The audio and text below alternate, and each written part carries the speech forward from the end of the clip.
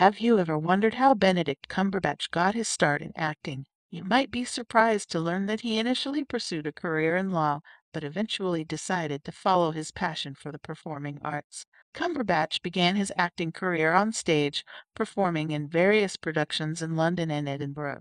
It wasn't until his role in the 2004 drama Hawking that he gained widespread recognition for his acting abilities. But it wasn't until his iconic portrayal of Sherlock Holmes in the hit BBC series Sherlock that Cumberbatch became a household name. His performance was lauded by critics and fans alike, and he quickly became known for his ability to bring complex and nuanced characters to life on screen. Despite his success, Cumberbatch remains humble and dedicated to his craft. He's known for his meticulous preparation and attention to detail when it comes to his performances, and he's always striving to improve and grow as an actor.